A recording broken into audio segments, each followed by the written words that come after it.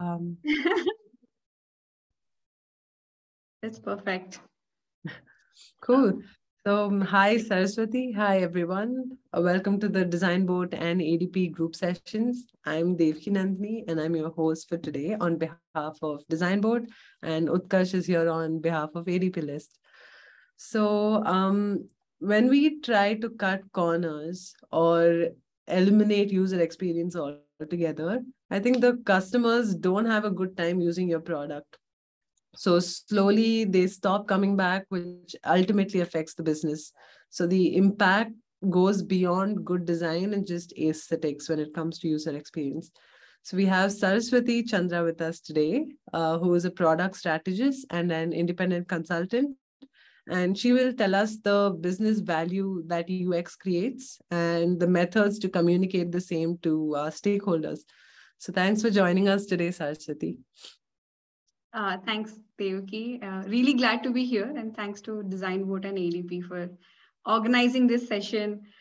Product, uh, I mean, this session and just all the product knowledge sessions that have been going on. I think we really need more of these sessions happening. So, absolutely. Uh, we can get started with the deck whenever you're ready. We can start. I'll just share the screen. Sure.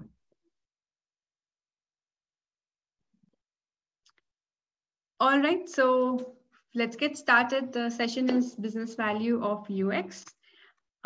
Quick introduction, like Devki shared, I'm Saraswati Chandra and I work uh, with product. But a little bit more detail is I've spent the last 10 years building product in the edtech space. Um, and it's been a great experience because you have different stakeholders in edtech. You have the student, you have teacher, you have the parent, then there's the principal because we were working in the school edtech space. And each of these user has very different incentive about uh, with respect to education, with respect to schooling. So we really had to constantly innovate align to their goals uh, at different points of time through our journey.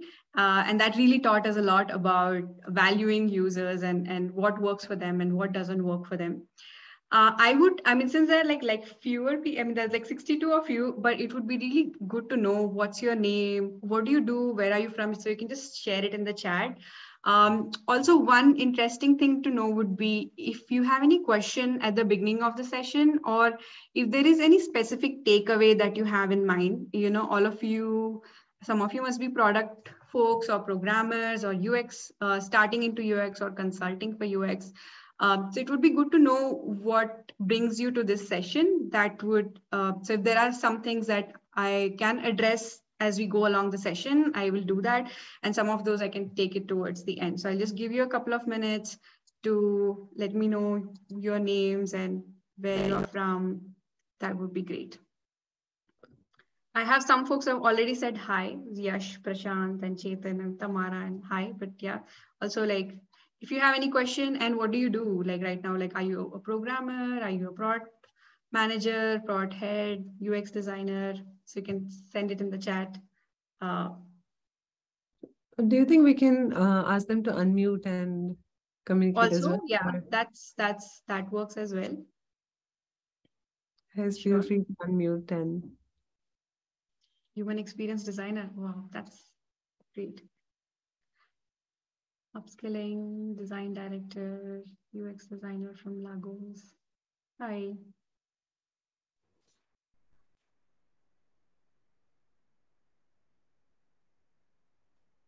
Keen shift my line to UX. Okay. Simran, hi.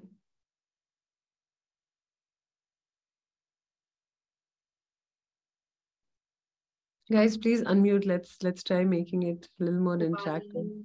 Um, yeah, yeah, yeah. Please, uh, if, if any of you want to unmute yourself and share, please feel free to do that. Working on enterprise product, Cape Town, UX design, Design Boat. Oh, okay. Um, It has always been so hard to make clients understand the value of UX, and I really want to make them understand the business value. Okay. Yes.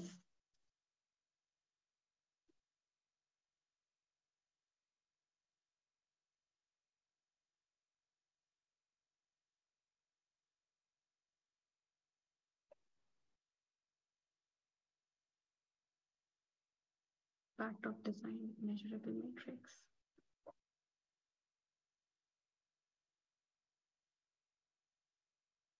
Okay.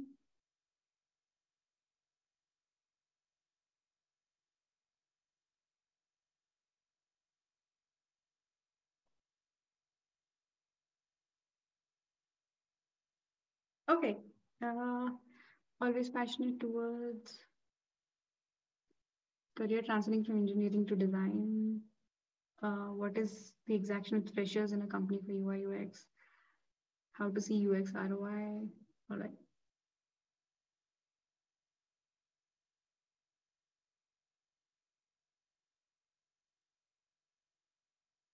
Okay.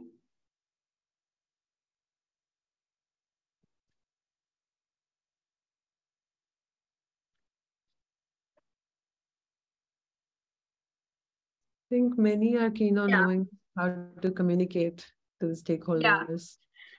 Yeah. Uh, interesting. That's probably a little less part of the presentation today, but uh, uh, but let's see. What Hi. Hi. Oh, this is Neha uh, from Erode. Uh, I have a specific question like Mhm. related to uh, business and UI UX. Like, okay, so uh, can I ask it in the last? Like, Yeah, sure. yeah. All right. So uh, thanks for sharing. This is really helpful. Um, so I'll I'll see uh, I'll address and some of this I'll probably address towards the end of the session as well. So let's get started with today.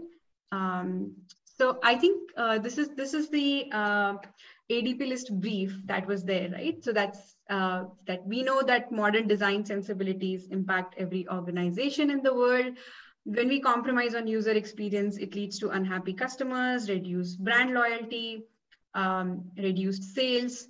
The impact goes beyond just design. But do UX designer really add tangible value to a business? Uh, honestly, like what what's already mentioned in the brief talks about the value that UX designers add. I mean, uh, getting customers, brand loyalty, these are tangible values for any business but uh, we'll try to understand this in a little more detail. But uh, any guesses to the answer of do UX designers add tangible value to the business? What do you folks think? Is that a yes or a no? Yes, absolutely. Yes. Yeah, exactly. So that's a big um, resounding yes. Uh, U, UX designers definitely add tangible value to the business so we'll try to understand how do we look at tangible value uh, how do ux principles actually help uh, in assessing some of this value? Uh, and i will briefly also cover on how do you actually communicate this value to the uh, to your team or to your clients or to your company as well right? So um, i think just to get it out of the place the reason i am saying yes is because there is research both academically and uh, there have been magazines business uh, business magazines who have done enough research to actually say that like that design centric organizations end up making a lot more money. So this is a quick graph of how these comp- the design centric organizations have performed and how the S&P have performed. S&P index so S&P is the um, American stock exchange the standard list of companies uh, that are usually measured for performance year on year. And the design centric companies have performed 228% more in terms of revenue that they have earned, right?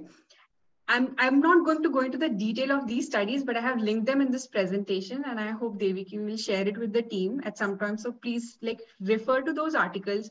But these are like some of the statistics that are already out there. So this is one. Um, there is, sorry yeah there's there is an academic study um, which actually says that if you uh, improve the ui it could of, of a website or a web-based product or a mobile product it can increase the conversion rate say by 200% but a great ux can increase the same by almost 400% so they've actually gone through different websites different products that are out there seen how ux exactly impacts.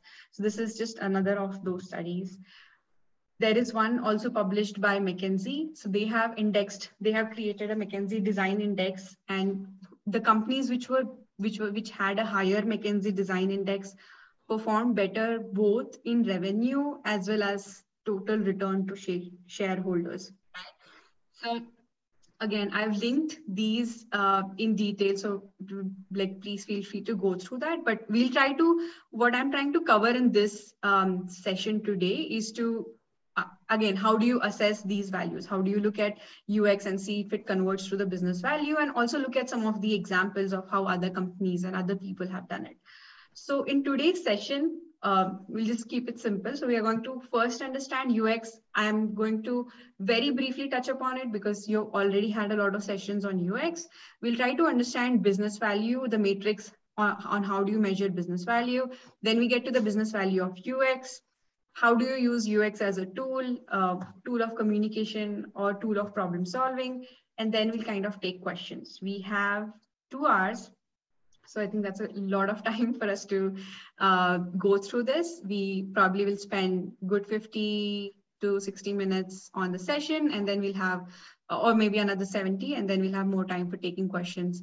So specific questions to your organizations, to your about your clients uh, or about your team, please feel free to ask because uh, UX really changes with context and with different contexts, you would want to use different methods of communicating.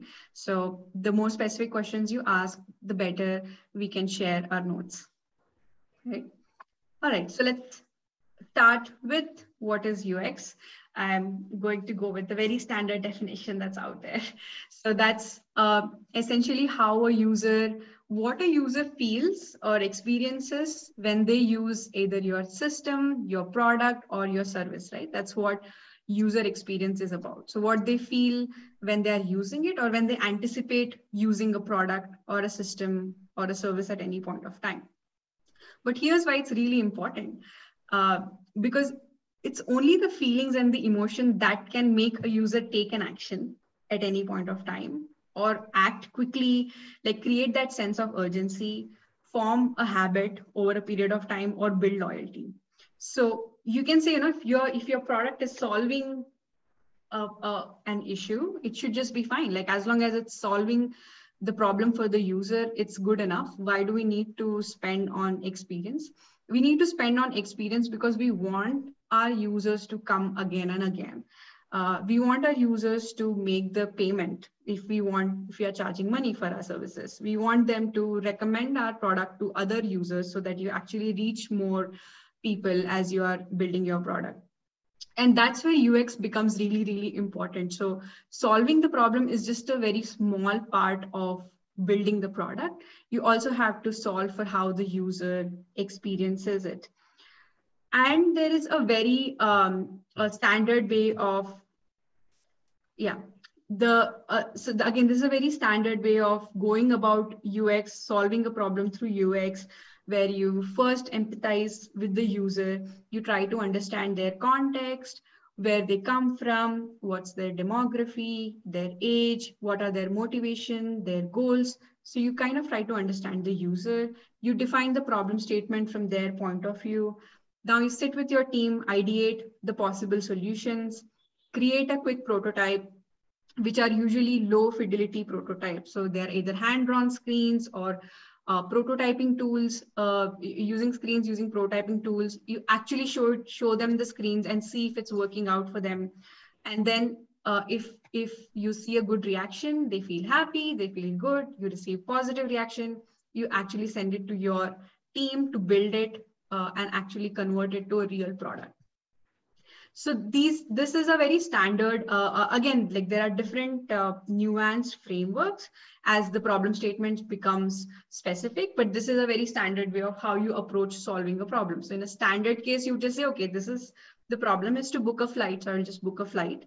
Uh, but you want to XP, uh, solve it through UX and you try to understand, okay, the problem is not to book a flight, but the problem statement is, I want to go from a destination to B in the cheapest possible price.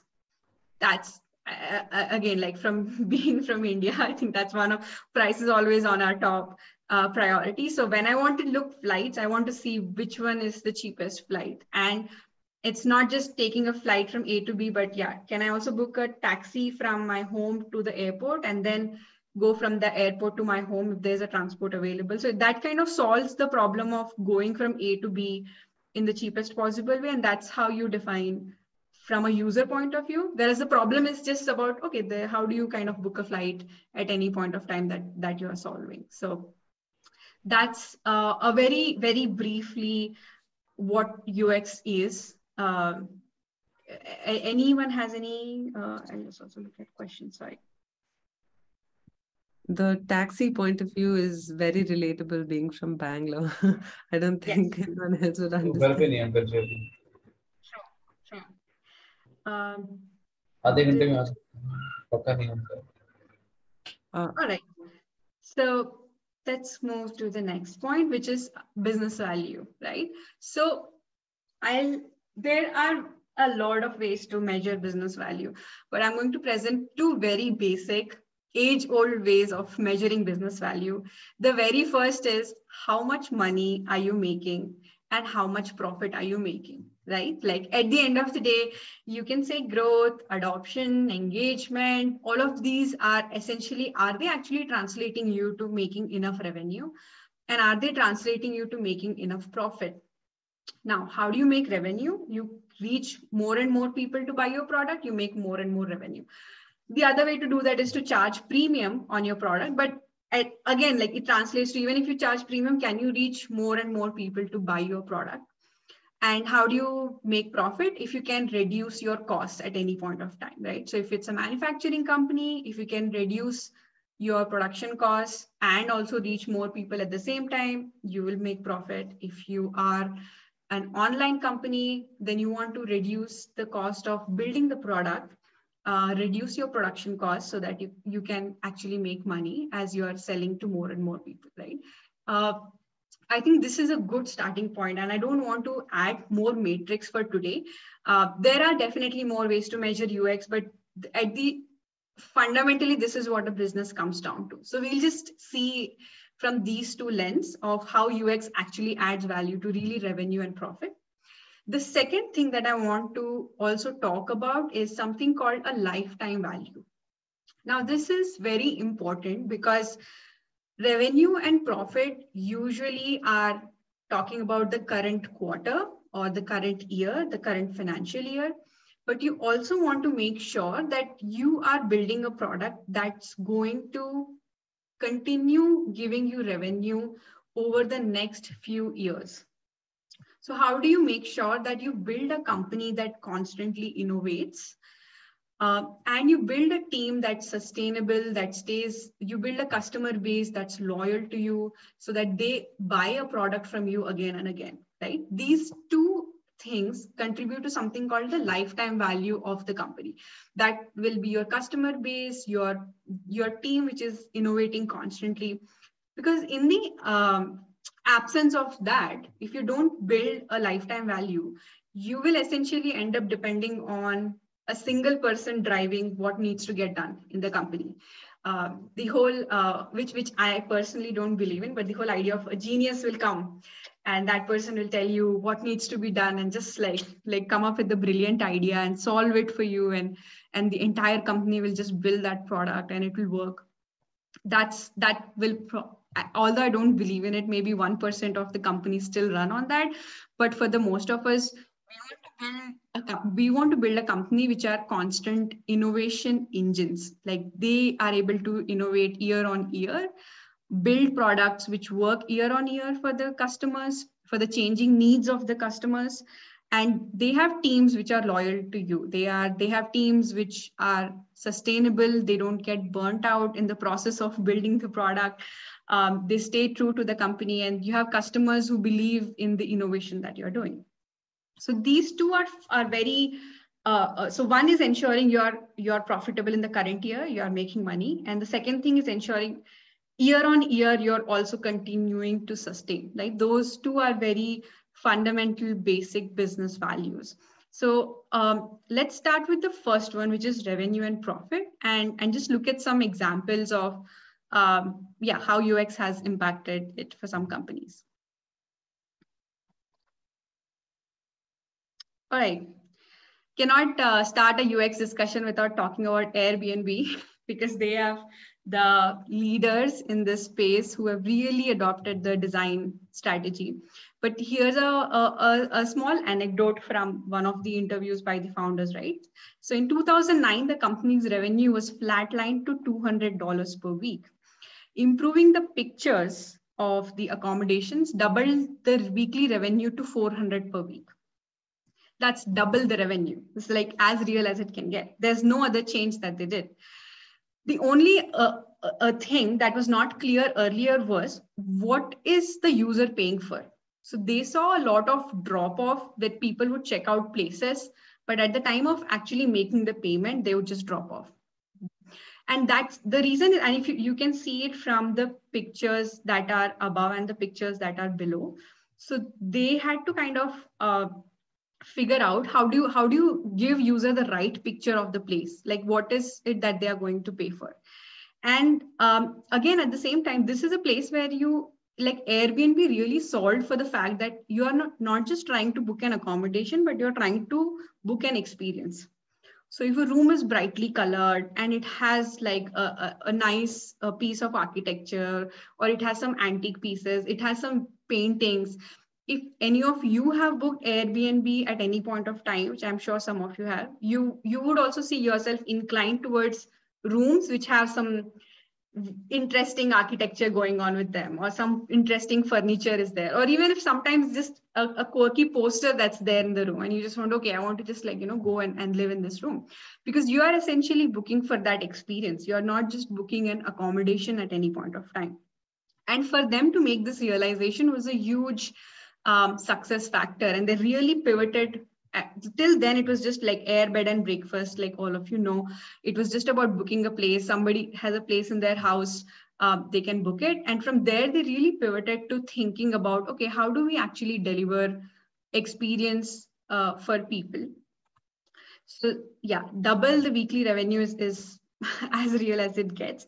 But i also want to highlight one point here. One of the i think myth uh, that you will feel with your clients, you might face this information at different places, is that UX is not scalable. Like it now don't try to create very good user experience and you know we won't be able to scale it for every user. We can't automate all of these things. So this is what airbnb did just to talk a little bit more about this anecdote. Uh, they uh, they had around 200 properties listed on their site by this time and it was Andreessen Horowitz who they went and he said, you know, you can actually just, you don't have to do everything that scales. Um, you can actually do things that are non-scalable. So first thing that they did was to, they landed in New York City, picked up a camera, actually went and started photographing the places which were listed on their site and saw how it actually changed the booking game on their site. Like it improved the booking numbers for them.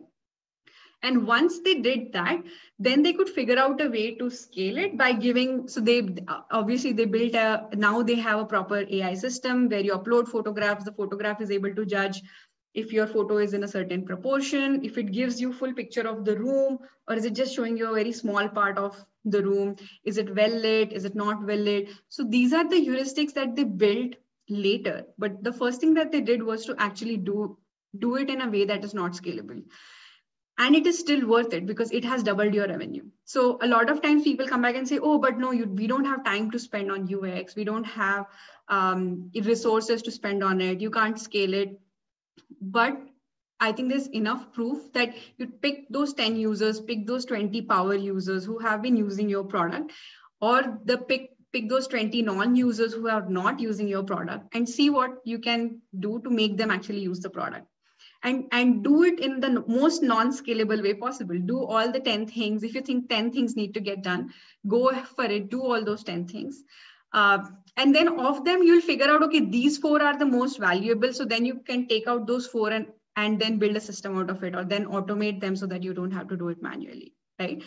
But it definitely uh, and if it has got those 20 users back on your product then it will get the next 200000 users also back on your platform it's it's just it, it it translates directly it has for a lot of companies and it will for yours as well Uh, let's look at uh, one more example. This is actually by, by Felix. I, when I was uh, looking through different case studies, I, I came across that he also worked at this company called Passport.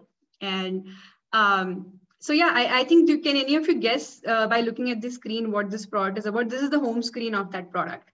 Any idea what, what, what do you get about what is this?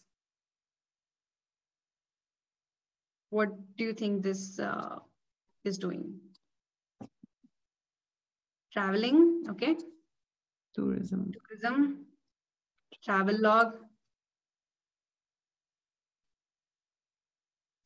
city tour, travel app, education, interesting. Booking travel destination, digital nomad app, I can see Wi-Fi. Mm -hmm. I wonder why is Explore Wi-Fi the first? Travel app like Make My Trip, tourism, renting. Okay, great answers. Uh, it's a good observation there. Uh, the reason Wi-Fi is first because it is actually a Wi-Fi device uh, renting app. Oh, okay. So um, this was the, I mean, this is what it looked like previously. And I agree with like everyone here. It looks like you are confused. The first thing that you see is explore destinations. You're like, oh, maybe something to do with travel. And then there are like all these destinations and there's attractions and all of that. So it's actually, the product is uh, called Passport and it is actually uh, as someone one of you guessed digital nomad. So yeah so being a digital tourist mm. actually having getting a wi-fi pod on rent. Okay. And now you can see can you see the difference? So you have so you you know for each so i know there are cities here but now you know this is five dollar a day and this is 15 dollar a day. Okay i can I, yeah i hope you folks can see the yeah so now so yeah i think there were uh, so again this is a big ux shift from the product right? So this looks like explore destination but and you can't see the name of the company anywhere. So actually it's called passport. That was the name of the company. The value proposition is right on the homepage digital tourist um, across all these countries. This is actually a search button but it looks like a button you can't you can't feel like you can type in it. So yeah that was kind of removed all these uh, countries so now you actually have popular destinations here with uh, the rate of um, what it costs to actually get a pod here. Um, the key activities is also here. Um, and you can actually plan your trip. So because if you are going to different destinations and you want to buy like a package which works across all of these countries so you can plan your trip see your itinerary uh, and and yeah. So this is a, a again a, a, ux shift uh, done the way i think uh, felix also approached it was to build wireframes and reach out to people show them the hand drawn sketches get feedback and and then come up with this version. Um, but i find it very interesting that they were almost able to up their revenue by 50% so the click through one of the things that again was happening in the previous app was people were downloading it but they were not actually making the transaction on the product because it was just too confusing and they didn't know what they were signing up for. Uh, and especially with their core user being digital tourists who usually don't uh, go to only one place, they end up going to more than one place at any point of time they were not able to do multiple place booking in the previous version of the app and they were not able to see if they did multiple bookings as well. So i think those were the things that were also solved in this version of the app. Um, you could see your itinerary you could book multiple uh, uh, pods across multiple destinations um, and you could see the total checkout value and what it comes to and things like that. So um, this is so yeah so i think the, this is the other thing right? Like ux um, so this is the other end of ux usually it also uh, people usually think that it's some groundbreaking innovation that has to happen. So if you have got a ux designer on board we will change everything. Um, something will happen from scratch and we'll relook at, at the product and the problem statement. But it doesn't have to be that. A lot of ux is, is just uh, improvement on, on things that are already working, but just making it more useful and usable. Um, I, I, I we used, used to work with a UX designer and, and you know, one of, one of the best definition definition that, that we used to always say that UX is just get, making a person take step A to step B. if it's trying to do anything more than than that then it's failing so you you want them they are doing a you want them to do b and it should just take them from a to b. It not like a to b and then they're going to c and d and then them some x is happening then your ux is already failing. So you kind of look at what your user is already doing uh, and then uh, what is the step that they should be doing next? And how do you make sure that that from a to b the conversion rate is uh, as high as possible like it's 100% how do you get people if they're already coming onto the destination page how do you get them to go to the payment page? If they're already on payment page how do you make sure they actually make the payment on those pages? And that's a problem that ux, UX uh, only ux can solve. Ui cannot solve it. Uh, a product team cannot solve it. This is a place where you want to understand why the user hasn't made that click uh, to make it happen and only ux as a tool can solve that problem right? Um, yeah looking at a physical product. Heinz ketchup, I uh, some of you may have again seen this product uh, or heard about it. So this was their original bottle, which was a glass bottle with a seal on top of it.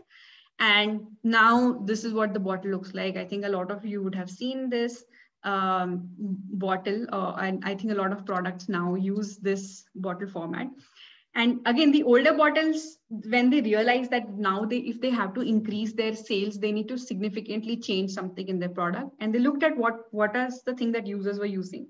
And if some of you have used the glass bottle you know the we all have done this like like hitting the bottle from the back so that the sauce kind of falls from the front right? And then when they saw that a lot of users were doing this behavior is when they moved to kind of turning the bottle upside down and and also like making it a plastic bottle so that you can actually squeeze the sauce out of it.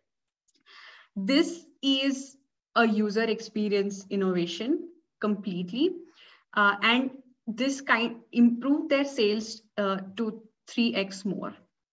And we are talking in the business in the order of 200 million dollars. Like the 3x is in the order of like 100 million dollars right?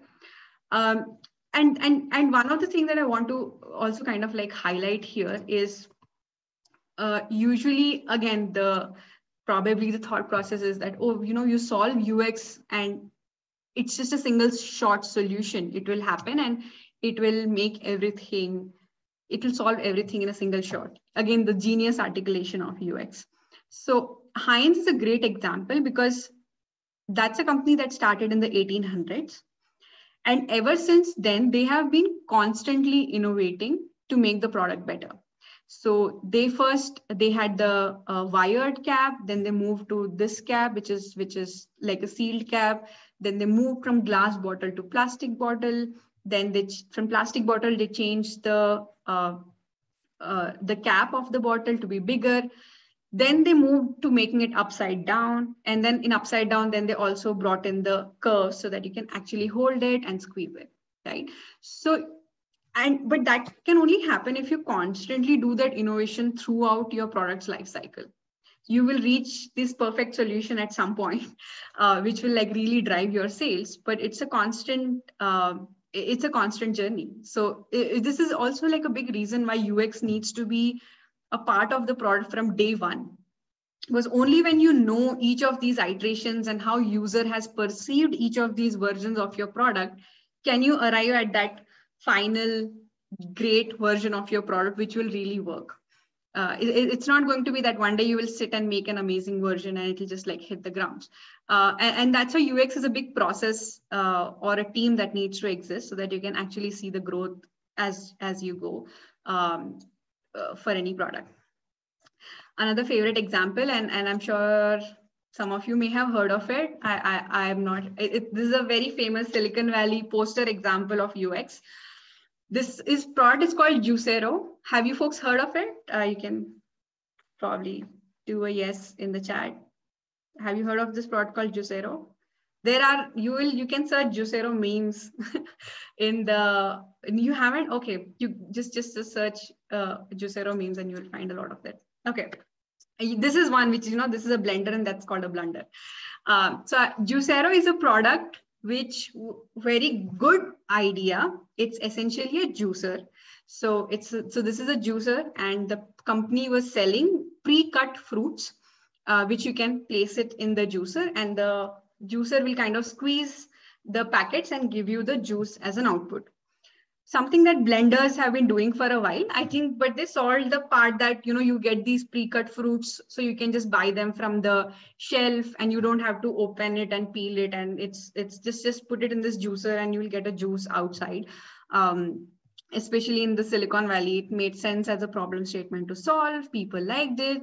Um, now they raised uh, it was a good enough product that they raised 120 million dollars.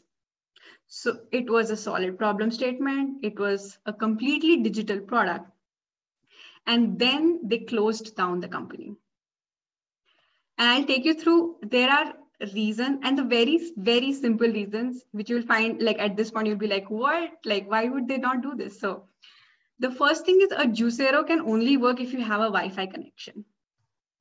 So if you don't have Wi-Fi, you don't get juice for that day, right? What does the Wi-Fi do? The Wi-Fi reads the manufacturing date and the expiry date on the juice packet. And if it's expired, it does not process it anymore.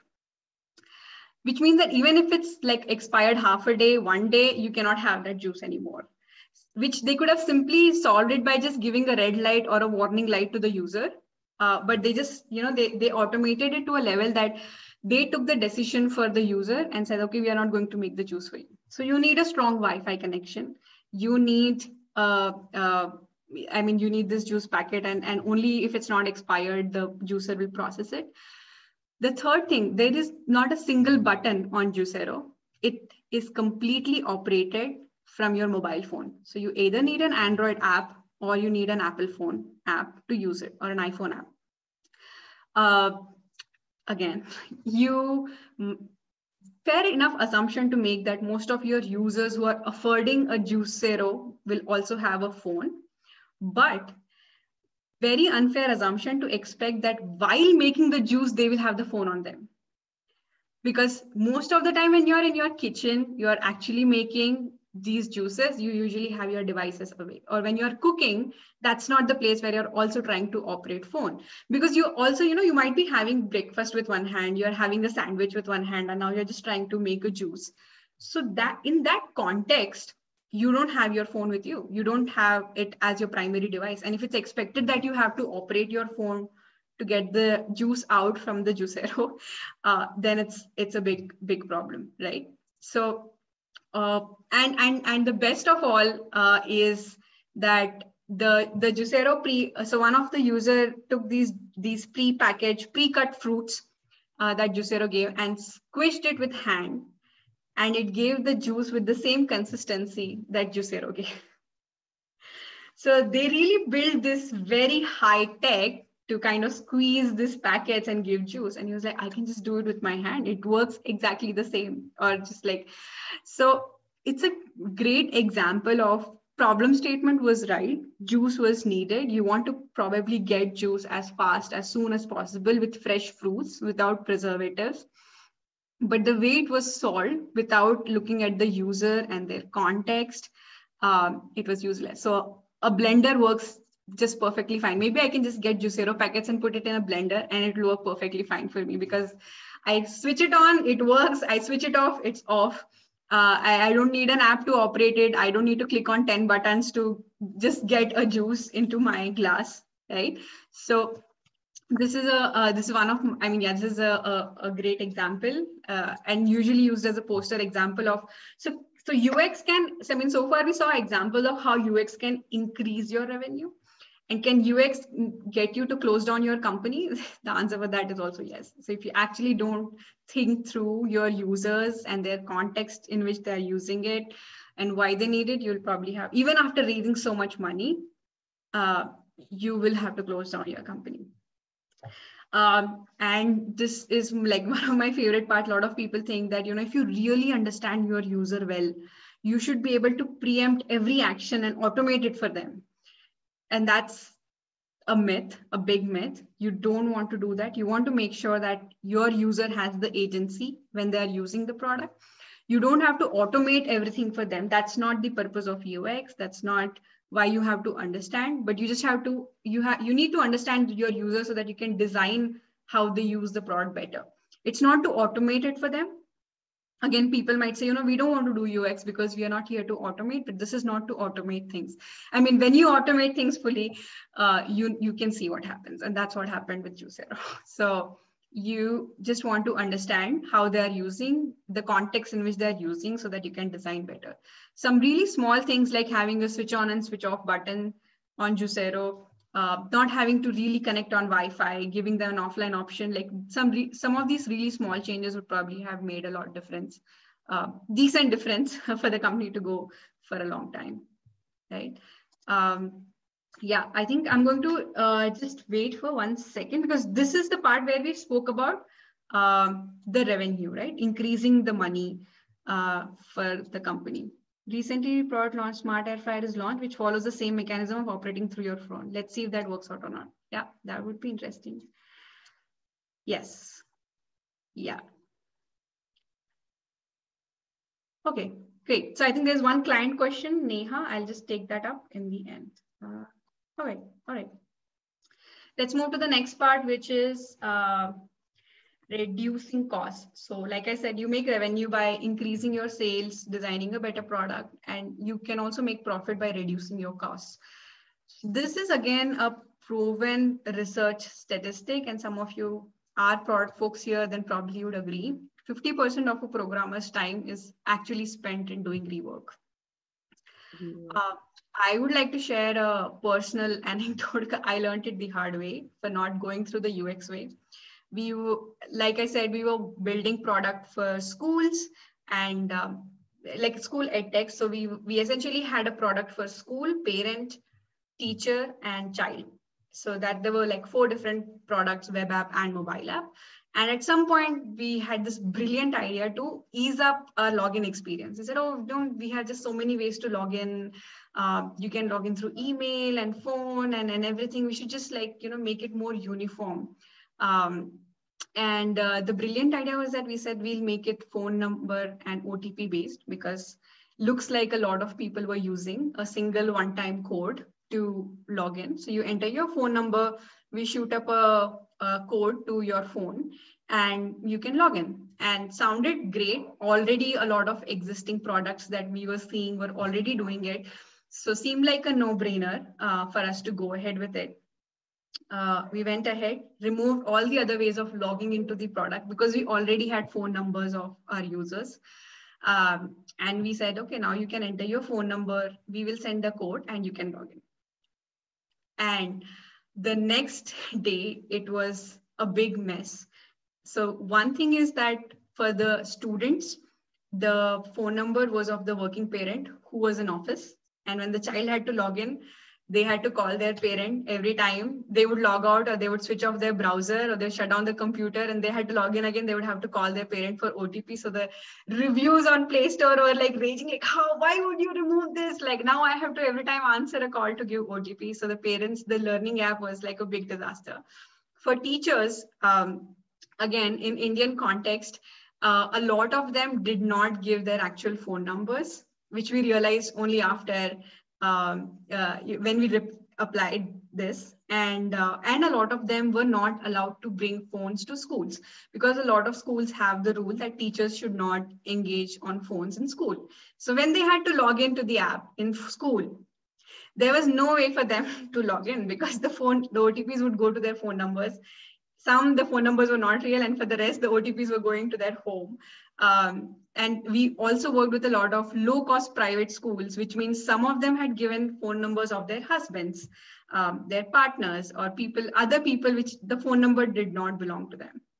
So obviously we had to go back to our developers and get them to again add the email login again add the password um, and, and uh, not to say they were not happy about it but i think this happens with a lot of us. We even some of so some some of these things which may seem very normal very big like yeah this just seemed like a very no brainer for us to do but it, it was just very different in our context in the context of our users in the context of students in the it, it worked well for school for school owners for the web app that worked well for them but it's just that for the child and for the teacher, it was a big mess and we just had to kind of rework. So uh, we le- lesson learned and we made sure that we do our ux research before we implement solutions uh, on such a large scale but yeah and this is a great formula uh, that's out there to calculate um, which is you know the number of errors that you see in a week the amount of time it takes to repair each error the salary of the team member and the number of team members who work and that includes your time as a developer and your time as a prod person like because two people have to get involved to actually solve a problem. And whatever that amount leads to that would that's a great cost saving for a product. And um, that's that's usually a huge number because and i know a lot of companies that spend almost a week in a month to solve bugs. One day a, a week to solve bugs which is still four or five days worth of salary and work. So uh, ux can actually ensure that you think through your solutions uh, and then implement it. So i just have a small video which i'm going to play. Uh, it's a five minute video uh, and, and then we will take it forward from here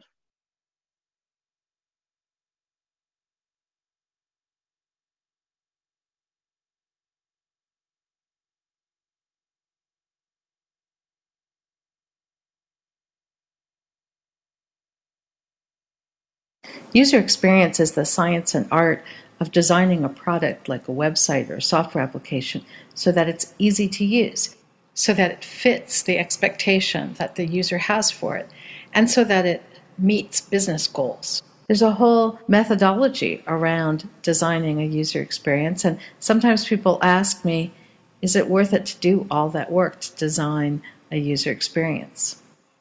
So let's talk about the return on investment or ROI of doing user experience work. IEEE is a professional organization that puts out reports and does research for programmers, developers, and engineers, and they put out an article called Why Software Fails. Here's some interesting data from their article. They estimate that the amount of money that is spent worldwide in information technology is estimated at $1 trillion a year. The percent of projects that are abandoned because they are hopelessly inadequate is up to 15% of all projects. The percent of revenue that goes to the IT group is 5% of a company's total revenue, and up to 10% if it's a financial or telecommunications company. The amount of time that programmers spend on rework that is actually avoidable is 50% of their time. The cost of fixing an error after development is a hundred times that of fixing an error before development of the project is completed. Of the top 12 reasons that projects fail, three of the top 12 are directly related to what we would call user experience or user centered design work. And those three are badly defined requirements, poor communication among customers, developers, and users, and stakeholder politics. So the kind of work that, that user experience professionals do, stakeholder interviews, user research, user testing, user-centered design, these are all things that can fix at least three of those 12 reasons why software fails. You actually can calculate the savings or additional revenue or benefit that you get from improving the user experience of a product. So let's look at some examples to make this more concrete. First example I want to talk about is let's say that you are a micro lending company. So these are uh, often nonprofit organizations that look for donations from people and then they take that money and they lend it out in very small loans to uh, people around the world who need the money to run a small or home business in order to better their situation. So you have a website and people donate money at your website, but the searching and donating part of the interface at the website is confusing and hard to use.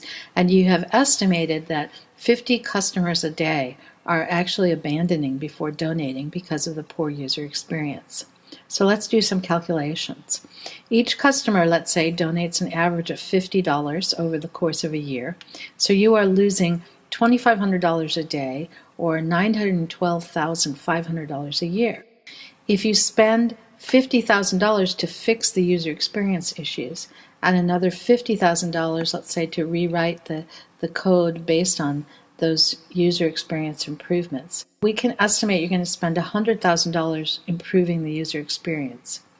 It will take you 40 days or a little over a month then to realize the investment because you've got $912,500 a year that you could improve. So in a little over a month, you've recouped your investment. There are many measurements that would be meaningful, for example, conversion rate. That's the number or the percent increase of visitors to a website who either buy or donate, or it doesn't have to have to do with money. It might be they take the action you want them to take, like register at the website. Or you might be interested in the decrease in the number or percent of drop off or abandonment, the decrease in the number of calls to the help desk or maybe by making a user experience improvement, you can reduce the amount of training that's required. For instance, if it's an internal software application. Maybe you want to increase the usage of a software application. Maybe you're looking to save user time, or maybe you want to save development time. Perhaps errors are what's, what you are trying to reduce. Whatever measure you choose, calculating the return on investment is a way to show the value of doing user experience work. Here's one of my favorite quotes from Albert Einstein. I think he said it best. Any intelligent fool can make things bigger and more complex. It takes a touch of genius and a lot of courage to move in the opposite direction. If you'd like your own copy of this drawing to download and print, go to humanfactors.com.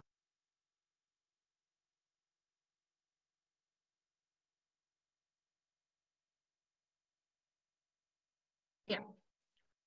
So uh, this is a great video because it also gives you the, I think one of you had asked, like, how do you measure the success of UX? Um, and I think the approach to that would be to make it as tangible as possible. So you will have to uh, look into the current business metrics that are out there. So I think she talks about conversion, adoption, um, fewer calls to a customer service center, lesser bugs that are getting reported, better Play Store reviews, uh, or maybe good, positive, more uh, App Store or Play Store reviews, saving the time of development that is required. So it it it is not as away from the business matrix as it appears to be uh, UX has to solve one of the business problems directly.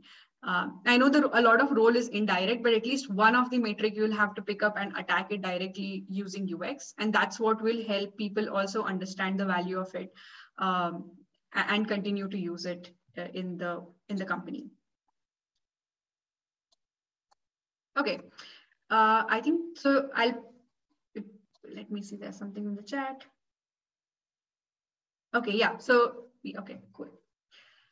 Um, so now we will move on to the second part of UX, which is also my favorite part personally, which is the lifetime value of uh, UX, like lifetime value of a business.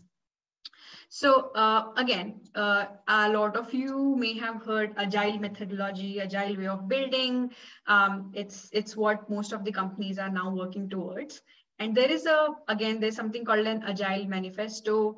There were 12 engineers, uh, or, or a little more, like few engineers who came together and they wrote down 12 laws of agile. So which essentially they laid out what does it mean to be agile? What does it mean to operate as an agile? So agile manifesto is also something you can Google or again, it's also part of the presentation. So you can take a look at it when it's shared. But these are the points of Agile Manifesto, which are really uh, critical to UX. So one of the things that Agile talks about is, is individuals and interactions over processes and tools. So what was happening previous to Agile methodology being invested is if there was a certain process that was defined for building a product, uh, then people would just stick to that. Okay, you are building it, then the QC team will approve it, then the testing team will test it, and it will just go forward, get released. And there, if there is a mistake or something needs to change, it will again go back to the leadership. They will again define the requirement. Then it will go to the. So it was it was also known as the waterfall methodology.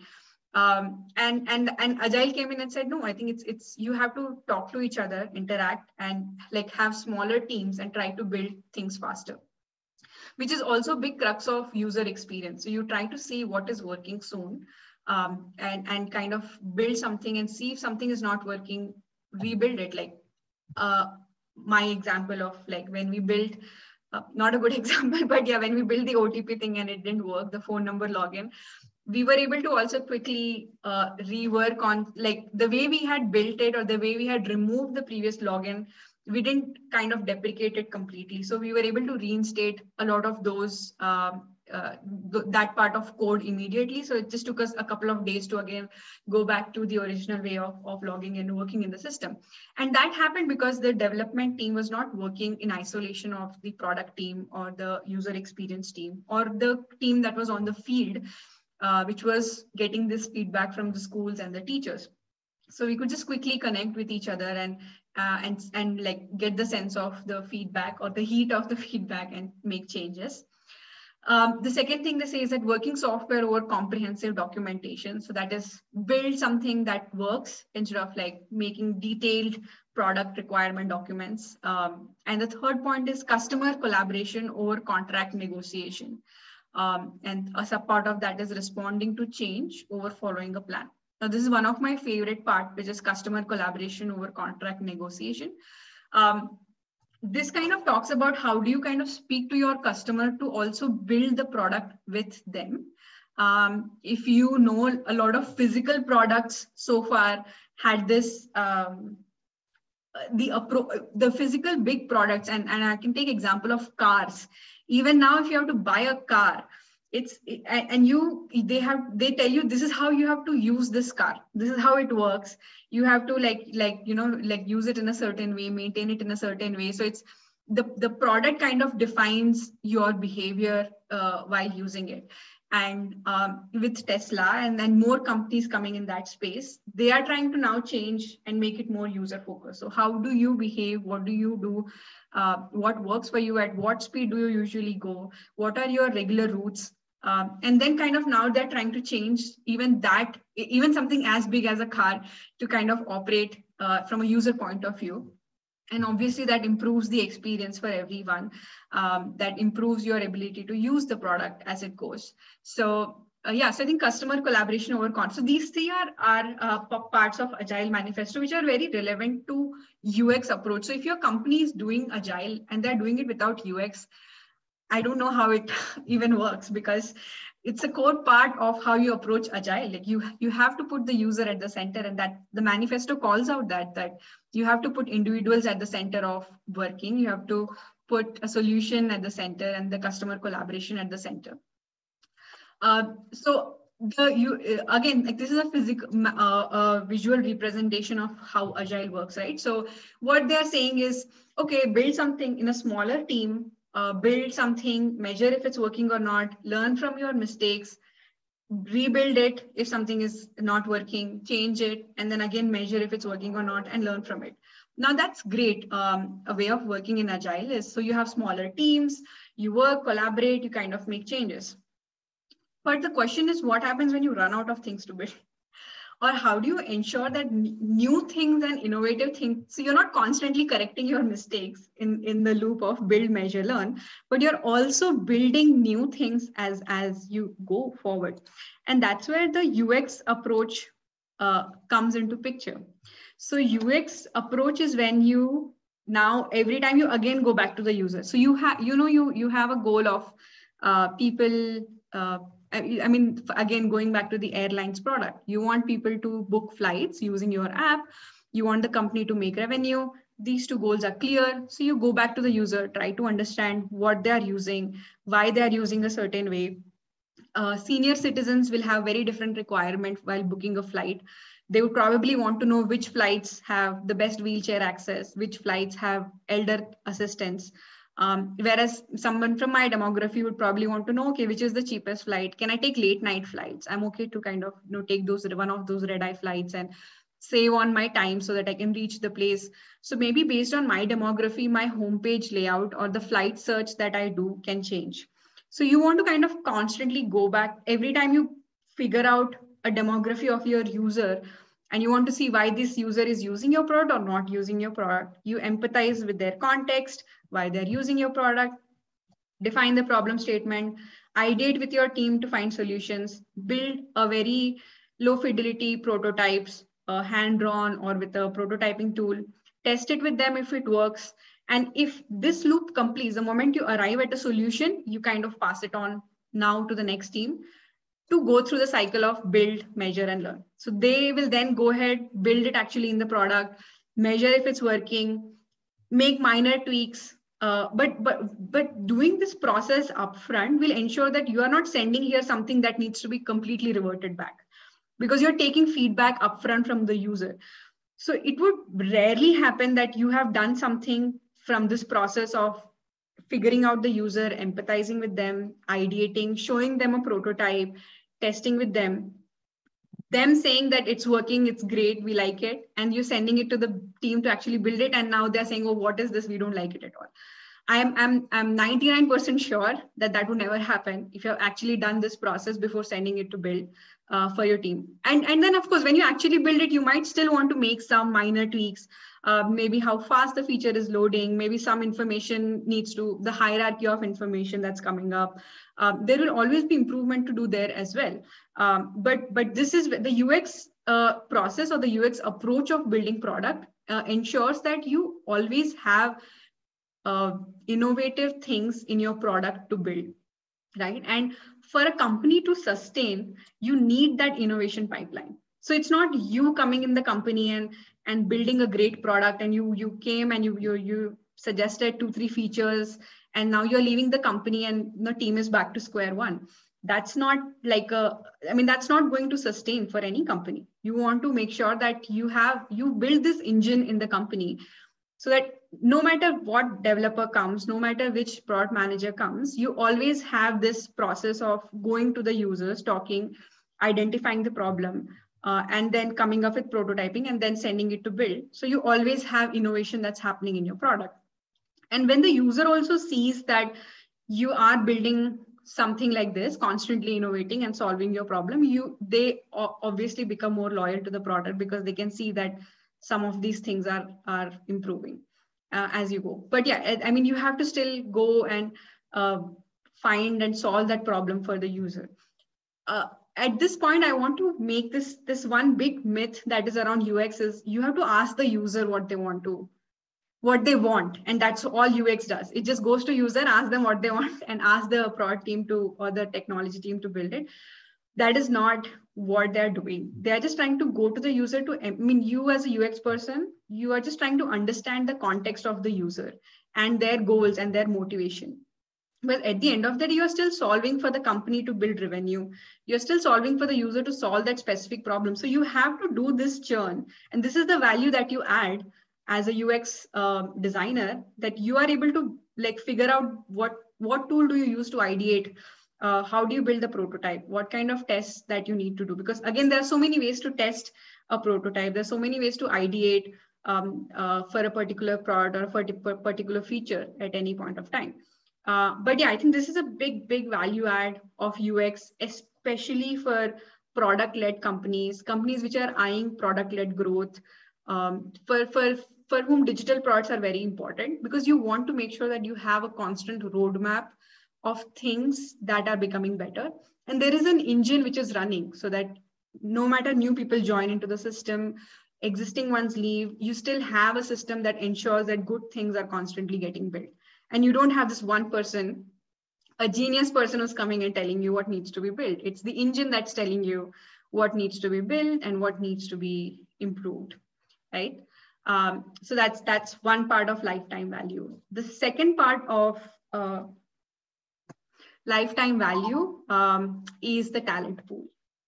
So uh, yeah, I mean, I, I was heading product at my previous company, but I was also heading the people function at the startup. And one of the big challenges is a to hire the right people, uh, of course, uh, but it's also to ensure that these people retain, work with you at least for a few years before they decide to move on. Um, and you definitely don't want people to leave, say, in three months of joining or in eight months of joining. Uh, and you probably are more pained when people leave at eight months of joining because by then you're already invested uh, train them and you know then they leave and then you're like oh i have to you know start the whole process again. So you have invested time of interviewing them onboarding them. And that was one of the problem for us as well as a scaling organization where we moved from almost 50 to 400 in a span of a couple of years. We had to make sure that that these new team members who are coming on board continue to stay in the company. And um, yeah i mean people always say that you leave your uh, you don't leave your company you leave your manager. And i would say you just leave a culture. So you if you build a good culture you, you are again not dependent on your managers and leaders to uh, do the right things. The culture is set right for the entire company to foster a good environment. So how do you build a good culture? That's again a big question. And the answer to that also lies in ux so this time your user is actually your team member so you kind of look at team member is your user. You go through and see uh, what is that user's journey as they join your company. Right from the time this they are see they are they see your job posting uh, on LinkedIn or anywhere else, uh, till the time they actually exit the company, they need to experience uh, they need to experience the culture at each of these points. So when they seek employment, so I think when we looked at or when I looked at our company's employment uh, team members' journey end to end, it really helped us build a very coherent experience for every user. Um, every team member and, and it, it, it's one of the few things that makes me really happy that a lot of team members who left the company both at senior leadership and at field work because they were getting a better pay or better role ended up coming back within a year's time because they were like, we just need a better culture. And this place was better. So, and, and people returning is like a big sign that takes a lot of like like effort for for actually people to come back. Like leaving jobs and coming back is a big decision. Um, but the way the only way that we were able to do that was because we actually looked at each of these stages okay so what happens when you're seeking employment oh i'm telling that this is a culture where you don't have it's a self-reporting culture. There is no boss. So then the recruitment also needs to reflect that. So you know you, then you can't have a big recruitment room with a big table on one side uh, which because that because your your your employment is saying that we are a very open culture but then your interview process is reflecting something else. So we would try to do interviews we would tell people to do interviews over a coffee or because that kind of breaks the structure power structure within um, your boss and your employee. So when you're getting onboarded, how do you receive, how you receive within your team? As you go through, you get engaged. How do I ensure that you're also learning? Um, so I designed the learning and development into your role. So I'm not waiting for your manager to define a learning path for you, but I also have some milestones. So I ensure that as you're working with me in the company, you're also growing as a part of this role. It's not just you contributing to the company, but the company also contributing to you um, how do you ensure the talent is retained? And even when you leave uh, how do you keep the exits amicable? Like one of the things that we always did was we never had uh, something called a notice period. Like you know you you you a lot of companies have this that the moment you decide to leave you have to serve for 30 days or 60 days in the company. And and for us it was like it makes no sense. If somebody has made a decision to leave uh, we should just work with them to help them transition as fast as possible and let them take their time off because the rest of the time they are not thinking about your product and your product goals. They're already mentally uh, in some other place. So uh, and that that was you know, a lot of people would appreciate that we would never have uh, that if, if they wanted to stay of course for a month we were fine with that. But if they didn't want to it was we didn't ask them to. Uh, and that again ensured that a you know, some, a lot of them came back. A lot of them referred other people to join um, the company as well because that's the kind of thing you want to maintain. And that's this also ensures that company sustains in the long term. You don't want to have bad blood bad reputation as you're building the company because people is what builds the company at the end of the day. You have to have a sustainable culture.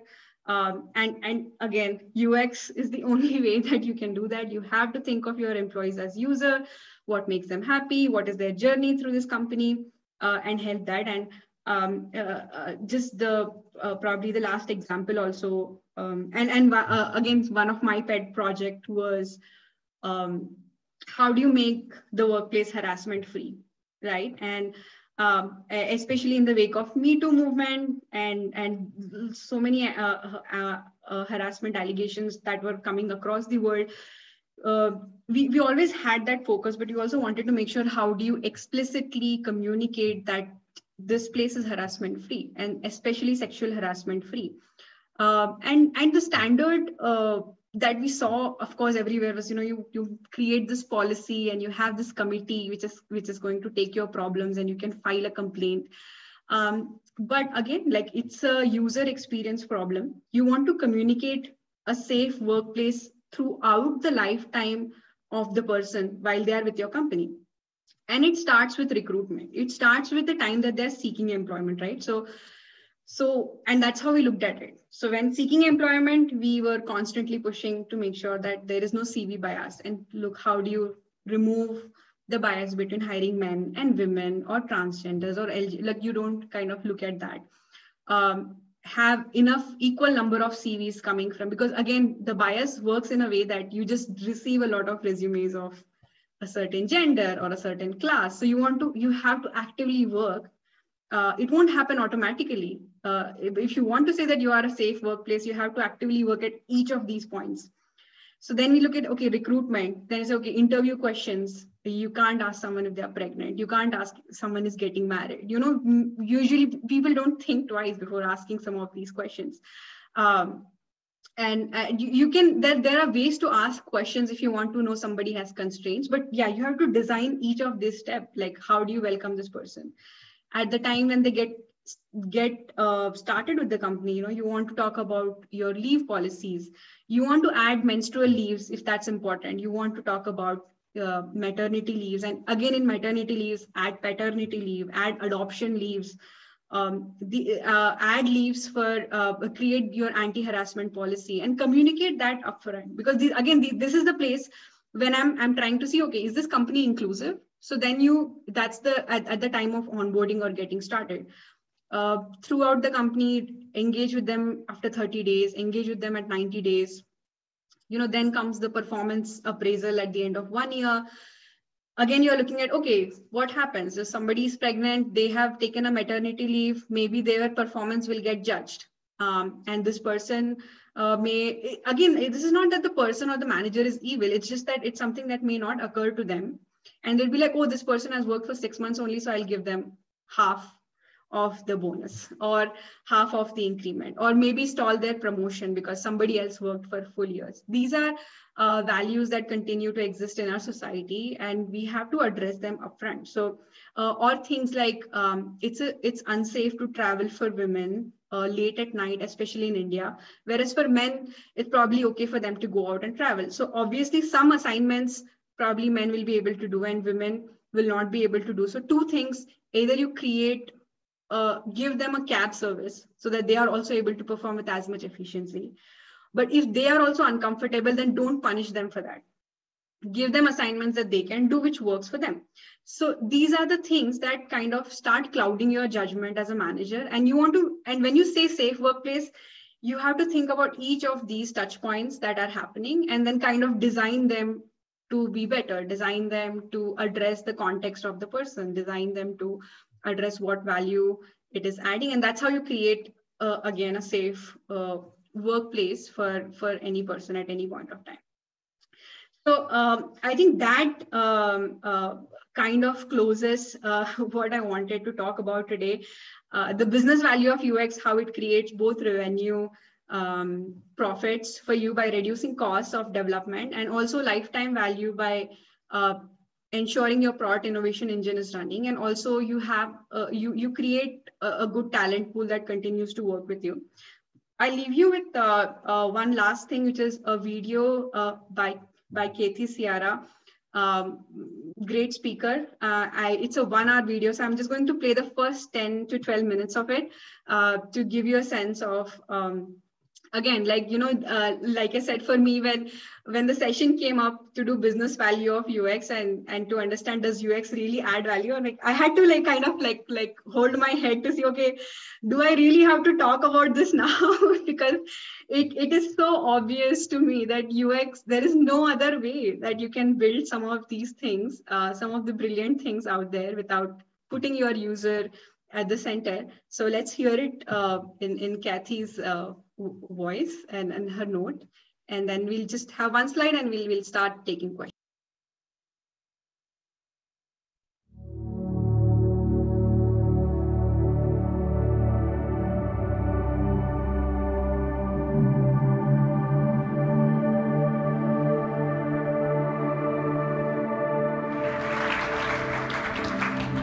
For the, for the live streaming, whoever's filming the live streaming, it would be awesome if you just took the camera mostly off me and did the slides. Um, they'll make more sense than looking at me. So imagine that you are at a dinner party and that um, you and your friends, who all look a lot like stock photography models, you're having a discussion and somebody says this. Now imagine, you know, what do they do? Well, they might do that, but you can imagine what they're actually thinking in their little thought bubbles.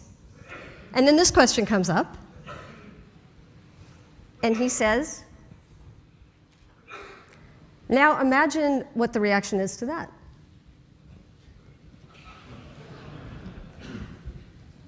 Right, and, and everyone's okay with the fact that that's a bizarre idea. So think about what people's responses might be to that.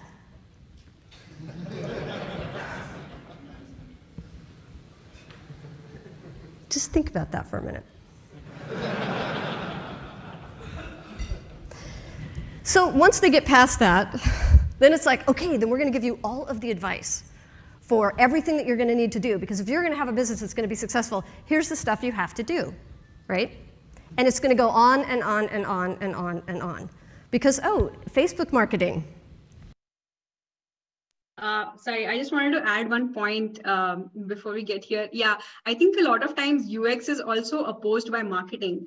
Um, you will say, oh, we'll make good user experience so that we get good users, uh, more users on board. And the counter would be, oh, but why do we need you? We'll just do more marketing. We'll get Amitabh Bachchan, sorry, this is a star in India, uh, to come and talk about the product, uh, a celebrity to come and endorse it, and that should get more users. But yeah, maybe one time, but they won't come again and again. They won't continue to stay uh, if you don't use, build, give them a good experience uh, while they use the product. So uh, Kathy, uh, Kathy really makes it very clear, but yeah, I just wanted to talk about that. Twitter marketing strategies, because we're in the engagement economy, and it's also the thank you economy, and it's the experience economy, and it's the creative economy, and oh my God, how can you not have a Pinterest strategy? But that's okay, because there are ways to work on your Pinfluence. And it's the attention economy, which Wikipedia feels is a little bit suspicious, but there's a book, so it's obviously a thing. And not to be confused with the intention economy, where customers take charge. Female economy, go us, has only two comments, so that's kind of sad. And then there's the virtual economy, also known as the synthetic economy, the knowledge economy, the like economy, one of my favorites is the pet economy. And then we also have the sushi economy, which, by the way, Google this, but not right now. This is a real thing, the sushi economy. So you might as well have your own economy, and oh, look at that, there is the U economy. And then just when you thought it was completely safe to let go of this, Facebook is back thanks to Justin Timberlake um, bringing sexy back. And not everyone is enamored, and this just happened, right? Just a few days ago. Not everyone's excited about it. TechCrunch apparently is not excited about. And the four most intelligent words I have ever actually read on TechCrunch is this. Just let it go. Just let it go. Just take that deep breath again. Because competing on these issues, it's very fragile not to mention exhausting. So this is not, this is not a sustainable, successful, happy path. So we're going to just take a little step back to look at how we got into this, and hopefully we can find better alternatives. So everyone starts out with this, some variation of this. We want our product to be desirable. I mean, not just desirable in, wow, I would love to have that, but desirable enough to, that I'm actually going to get it. So we have to have something that's so desirable that people really want to have it. So this was the goal. And of course, you have to be more desirable than everyone else in your category.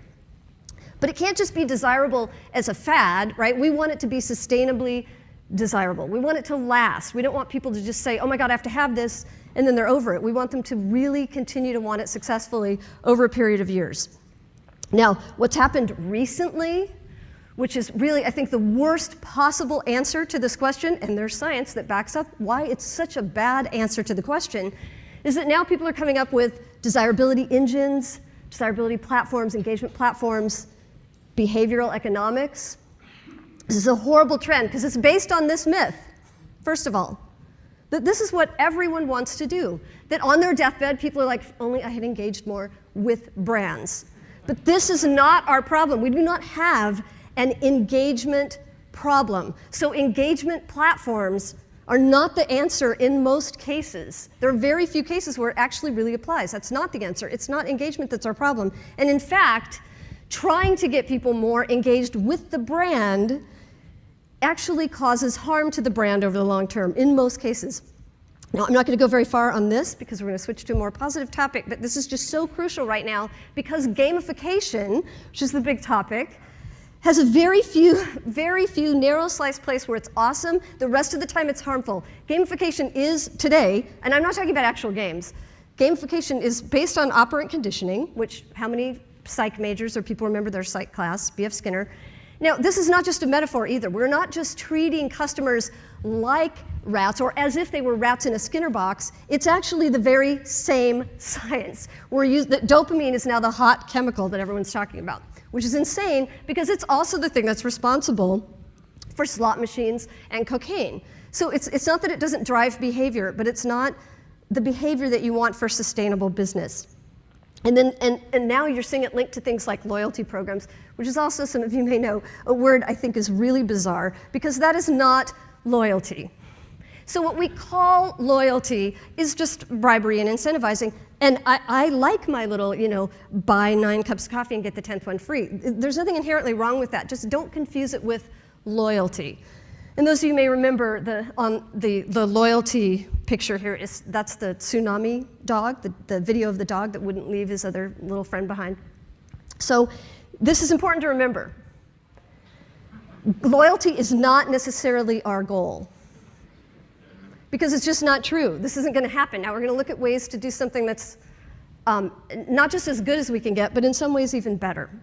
So we have to find a way to have this sustained desirability without bribing, without incentivizing, without coercing, which in the end would end up doing more damage. So what does make something really, truly, truly desirable in a sustainable way? What are those key attributes? Well, we kind of all know instinctively that even if we're trying to say best quality wins, we all know this is generally not true. Right? Because the world is full of great product and sell. Things that are beautifully crafted. They're clearly the superior product, but they didn't sell. So we know that, first of all, our definition of quality doesn't even make sense because only the user can decide what quality actually means. But we also know that this is true, that if something is really desirable, it, some of the things that you use and love every day that people would have to pry out of your hands, right? You will tolerate a lot of crap for those things. And we're going to look at the reasons why you would be willing to tolerate that and how to build that. Now, of course, if there's only one source, then yes, people will tolerate crap because they have to, but that's not what we're talking about. Now, the more interesting thing is that when something is really, really, really desirable, people will actually reinterpret the crap as not crap. Because, you, you know, iOS 6 maps, right? Like your first version of anything was good. So, um, you know, people are willing to reinterpret things. So if it's not quality, then what does drive desirability? What makes this happen? Why does he say that? Now, this is the thing that we want because this is what we know is true. So, word of mouth is more powerful today than it ever has been. 70% of people. Um, trust online customer reviews up 15%, blah, blah, blah. So we know that this is happening. Trust in ads, trust in online recommendations, and offline as well is going up. So for something to be really desirable, we, and, and for us to have users who actually want, or potential users want to get it, we need other users telling potential users, you need to get this. This is our goal. We need to make this happen. So if, if, word of mouth today is really driving this sustained desirability, you know, one user telling another prospective user, you have to have this. Well, then what drives that? What makes that happen? What makes him say this? This is what we have to look at. Why did he do that? But this is tricky because everybody's sort of competing on this. They want people to talk about the product is awesome or the company is awesome or the service is awesome. So they're trying to be talked about as awesome. And it makes the world's saddest Venn diagram.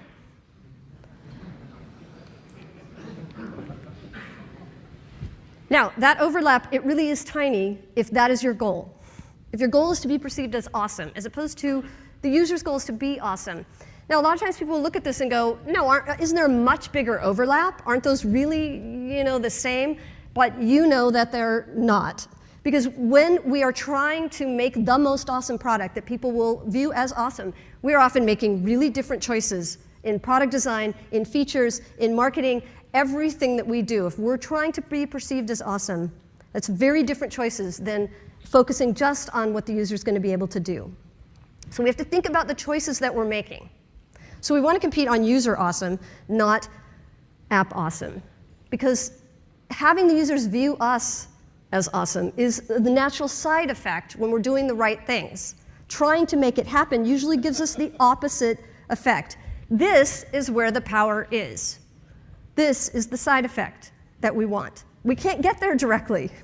We can't get there by trying to make people talk about it. Well, you can. It's called spam your friends. But so the key attributes of a successful app, if we are going to reverse engineer a really successful, long-term, sustainable, desirable thing, we shouldn't be looking at the thing.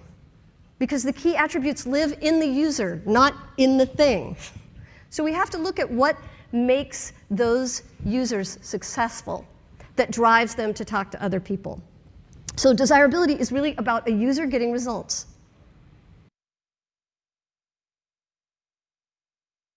All right, I'll pause this here, and I think some of you have asked for the link, so let me just uh, do that also in the chat. Yeah, uh, watch it. It's a great video, and uh, that's the thing. I mean, the awesomeness of the product lies in the user. You love Instagram because you look great when you put those filters on and you put your photo out. It makes your life look aesthetically amazing. And that's why I say, oh, Instagram is a great app. Uh, it's not that they have like really done, I mean, the app is also good, but I'm just saying. Uh, and any product that you use uh, at any point of time, it's it's what it makes you feel. Whether you use an Apple smartwatch, um, something like a Fitbit tracker, like these are the things that that uh, add to you as a person. It it signals that you are a fit person. You are someone who's tracking your vitals. Um, you are keeping a track of how things are going. So uh, and that's what you love about a product uh, which is why uh, ux is like you have to like like ux is the way uh, business will um, uh, drive its value from. Um, and I think uh, I think I'm going to so yeah I think there's there's there's there was a little bit of like how do you approach UX as a problem solving tool but uh, that was not much of the question that came up today. So you can still refer to the slide because there are frameworks here. What frameworks can you use to, because again, like there is no single bullet for solving all UX problems. There are different ways to solve different types of problems. That's what I've tried to list down here. And there are also the links uh, that I've referred to, plus uh, the videos are also here. So I think the slide will get shared. So I will now um, pause and open to questions. And there was one question that Neha had asked. I'm just going to go back to that.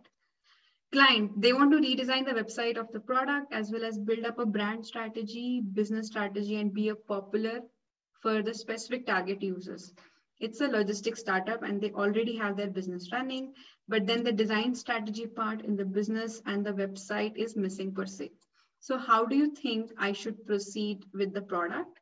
Um, should I attempt to do it majorly from business perspective or should I redesign the strategy of theirs and design the product as a whole? Um, just redesign the website or do just redesign as the website as they wanted. This is their priority. Good question. Um, so I, I just like these are the questions you had like so should i proceed with the product or major majorly from a business perspective yes so um, uh, um, uh, neha i mean as a consultant redesigning uh, the product completely would be a big task. So to to even take that up like to to make it happen for your client like these are the things that take six months to an year for for things to work. So and and given that it's a logistics startup which is already in place it's running so i'm assuming it's making money and revenue you would want to um, redesign the website from a business point of view. But i do want to add i don't know what you mean by business point of view because it still has to address uh, the user requirement. So you will have to see why users are visiting their website. What is uh, i mean so users have to call the logistics company make the booking um, and actually uh, i mean there is a certain goal that user is trying to achieve using the product. So you still have to kind of put that at the center and then see if the current website um, and the brand is actually a signaling them that experience so let's say the company logistics company can have uh, any uh, uh, USP. They can say we deliver fast. They can say we deliver reliably. We deliver safely. We deliver without any damage. You'll have to kind of sit with the team to understand what is the unique thing that they're offering, which also matches with why the users are using this particular product. Uh, and then kind of bring that uh, up in the website that you're designing and also the brand strategy that you're building for them. So I would say user is still at the center, but fundamentally changing the product will, will definitely, that uh, can be a follow-up thing. I think that's like I, fundamentally I changing the product in the sense like um, their logo and all those, it's not yet defined per se. It was done by the client itself as a, you know, yeah, when he started it out. Those so, you can change. Uh, I would, uh, those things you can change. Yeah Unless yeah. there is like a big recall बहुत बड़ा customer base and it will be very difficult then you'll have to kind of work a way around it so again those are the things that you can do by doing qualitative interviews with some users of theirs like you know do they recognize the brand by the name or by the logo if they say we don't recall it then you can mm. yeah easily go ahead and change it if they if there is some recall then you can look at changing it slightly huh, percentage of change but yeah definitely yes because uh, they don't like exactly have a brand color or like you know anything yeah. in the brand thing branding per se. So should i like make one for them also? Yes. Yes because without that website will be like a band-aid solution. Yeah okay. But if they're willing to pay for it. Yeah that's what i had to convince pitch it pitch it pitch it but it, it's worth it because uh, branding without without a, a brand it doesn't have to be again like a you know high funda branding thing. Yeah but, just like you know yeah just basic design the fundamentals which are necessary for the website yes, that's exactly. what like, otherwise it'll just be a band-aid solution. They'll have to rework the website in a few years again. Yeah. Yeah sure yeah you can tell them that. Yeah. Yes dipali. Hello good evening madam. Good evening. Uh, it's a very great session and uh, thank you for this session. Uh, I just want to know, actually, I am a student of DesignBoat and mm-hmm. I have uh, no any experience, working experience. I just mm-hmm. want to know, uh, are there any key techniques to reduce reworking? As you said before, that 50% uh, uh, we do rework as we uh, means uh, when we come to know after launching any app or uh, any site uh, as we get the feedbacks from users then then only we come to know about the uh, drawbacks or loop, loop falls uh, but before launching that can there are some points that we can work or small small things that we can focus so that we can avoid that uh, reworking. Yeah. So um, first point dipali uh, is that there, there will you will never be able to ship a perfect app. So there will i just want to kind of put that out of the thing. It will never happen that you have shipped something and people are not finding issues with it. So you will always have some things that you have to improve. So I mean, that's a part of building the product. It, I won't say it's a rework, but it's more of like build, evolving your product as you go. So keeping that aside, uh, rework refers to if you're fundamentally changing the approach to your product itself. You had certain assumption and now you're like completely taking a very different approach to building. You're changing your entire home screen or um, those kind of things you can avoid by following the design thinking strategy. So which I just had shared. And I think once you get the presentation, you can also look at it, which is where you actually do build the uh, prototype and take it to the users and show it to them like in print that this is what we are building and let them actually do the, and there are like these days, there are also prototyping tools where user hmm. can use the product without you having to code it. So okay. get them to yeah. click on the product, um, see where they are clicking or not clicking. Uh, you know, sometimes mm. we we had built a a, a floating action button. Uh, we wanted to build a floating action button for our user, and but when we took the prototype to them, it was not even in their like they didn't even look at it at all. Like it was not coming in their uh, overall uh, sight of action. They were always focused on what were on the top. Uh, and mm. working on it so that was for teachers uh, and that's how they they looked at it so and that's when you know that then it's not going to work.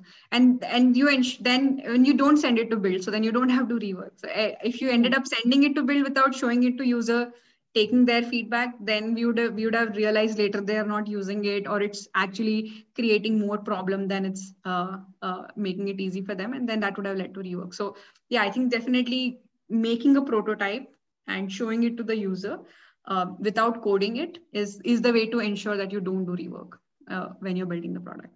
Th does that make sense? Yeah, yeah. Okay. Uh, yes, you. Neha. Yeah. Neha? Yeah, yeah. Um, there was like there's like another question of like client based question mm -hmm. so uh, recently someone like asked me like if i can like the product is not it, it's not a business right now it's not a running business right now and um uh, they want to build a website so that they can start with a business Oh, okay. Hmm. Okay, so like it's a uh, like you move into a new property. It's like a real estate kind of yeah. business, like housing.com, something oh, okay. like that. Yeah. Hmm. yeah. So, uh, like, how am I supposed to proceed with it? Because I'll have to mm, keep in mind all of the. Uh... Uh, okay, so Neha, what we will do is that uh, I'm also on ADPList. So why don't you book a session with me oh, okay. and we can actually do it? Because the thing is that there are frameworks. Uh, again, what I had listed on one of the last slides. Yeah. When you know, when you don't have any information versus when you know some information versus when the product is running halfway, there are yeah. different approaches to solving each of these problems. Yeah, that's so why I had. Yeah. So I, I'm, I'm happy to share. I'll also share resources. Let's just take it to the ADP yeah, sure. um, session. Yeah. yeah, yeah, because like I think others may have, because it'll need a slightly longer answer. So yeah, yeah, yeah. Uh, cool. Any any other questions from anyone else about business value of UX, how to communicate it to your clients? I think those were some of the questions that had come up. There's something in the chat. Um, Pratika has asked. Oh yeah, how to convince client to include UX? Most of them are in a hurry to get the visual design because they have time and budget constraints which can't be ignored to how to make them realize this. Show them these examples of um, bad ux and that's the only way to do. You it it'll be very hard to convince them verbally. You'll have to show them the difference between a good design and a bad design and how it makes a difference because it's hard to visualize it unless you you see you see see that's the thing right? Like people say good products are invisible. Electricity is invisible. Imagine if you had to crank up the generator every time you had to use electricity. You would remember it but it's a good product. You don't you just have to switch on the button and lights up. So if you can't imagine a life where there is no electricity. So so yeah so i'm saying that you'll have to show them screens of bad design good design and how will it actually lead to better conversion. Uh, do it only with one screen. Just do it with the home screen um, or or you don't have to do it with their product. Do it with some older products that you have done or existing examples from the uh, online. And and just just you have to yeah that's that that will really help. Showing will really help. That's what helped uh, even our company when we showed them what good design and bad design can do. It, it makes it real for people I think uh, yes. Yash has also asked about um, the video saying it's a decade old and does word of mouth still, is it still relevant? So maybe you want to address that. Yes, because uh, I think she talks about online reviews. It's a decade old, but it's uh, also in the US context. So I think we are still here. Uh, we are getting there. um, in Indian context. But yeah, I mean, reviews, online reviews uh, are still a big part of. I mean, how do you make buying decisions on Amazon or Swiggy, like, or or Google, or going to a place like ratings and reviews are the first thing that you check. So, mm-hmm. is there any particular procedure to address a problem and come up with a solution? Yes, there is a process for coming up with a problem and also coming up with a solution. There is a method to this madness. You cannot do it without without a method, and either it'll just be it'll feel like you're uh, uh, trying to bring solutions from the back of your head. That's not going to happen. So yeah, there are different design methods. I think the famous one is the design thinking process. Uh, there is Google Sprint. Um, there is the sales brochure method. Yeah, there are again, uh, again, I think I have listed down in the uh, slide. I would probably not get into the details of that right now. Because and you can look up. You can look up. I mean, I have linked. I, I have linked, so you can look up in the links. I hope that's all right. But there's definitely method for procedure and method for everything. It it it's uh, like I said, it's not an expert driven uh, thing that that you have to figure out from the back of your head. Uh, yes, Siddhant. Uh, hello, ma'am. Good evening. Hello. Uh, actually, ma'am, I want to ask one question. Uh, sometimes we are giving one feature in our app, and this particular feature is uh, solving the one one of the one of the user is still thinking he is it is a problem solving feature, and sometimes it is a problem creating problem feature. So how to deal with them? Most of the user think it's a problem solving. Uh, it will solve our problem, and sometimes it will create problem for other user so how to solve and how to convince other users and how to convince with other people yeah it is a basically problem solving feature mm, good question. I think um,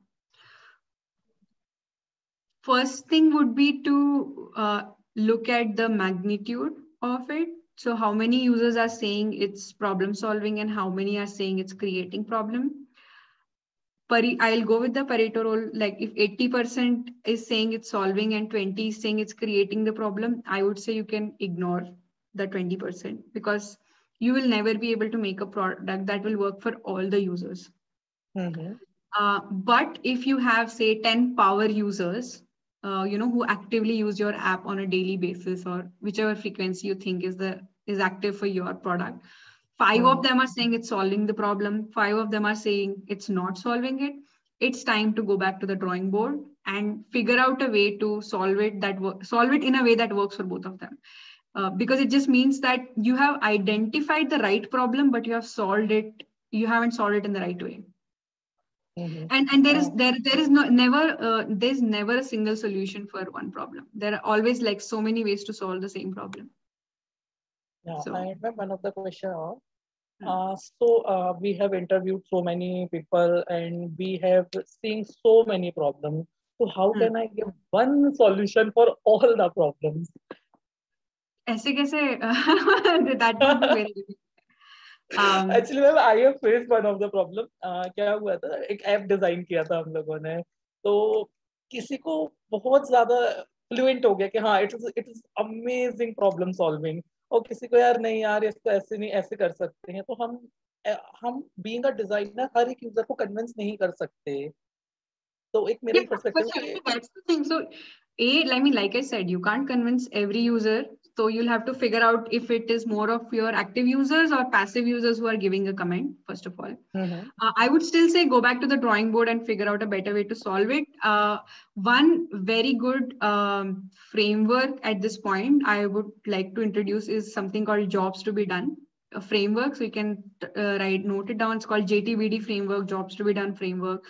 Uh, now that's a framework which actually lists lists lists uh, what is the user trying to achieve with your product right? So it's not about what you have so don't uh, uh, i mean it's it's uh, again this is a product 101 we should never fall in love with our solutions. We should only mm-hmm. fall in love with the problems that we are trying to solve. Um, and and that and if if two users are complaining one is saying the problem is solved and other is saying it's not solved i would still say you are winning because neither of them are saying it's a useless problem that you're solving okay. So that's the worst place to be in when they come and say that ye kya hai? this is not even a problem. They're like Juicero, like this is not even a problem for us. Why are you yes, yes. Yeah. So now, now that you have the problem, and if if you have only 50% of your users who think you have solved it the right way, you have to go back to the drawing board, make more prototypes, draw more designs, and and take it to them to see. You have to get at least 80, 90% of your users to align with what what you're solving or how you're solving. Uh, for and and yeah, I mean, like she said, like first, uh, I, I mean, you know, even Reid Hoffman from who who who created LinkedIn Yeah. Yeah. uh, yeah, said it that if, if you're not embarrassed of the first version of your product, you're doing something wrong. So if Yeah. you're in love with the first version of your product, it's not in the right direction. You you have to like go to the 10th iteration and then at the 10th iteration, you should feel like, what was I even thinking when I made the first iteration? That that's when you're doing a good job. It's a it's a great marker. Even the fifth design that you should kind of reach and, and it'll work. You have to kind of iterate through. Uh, Uh, we should so never fall in love with our solution. Yeah.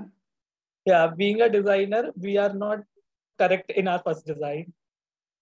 Yes. And you should be Okay. okay with that. Okay, Yes. thank you.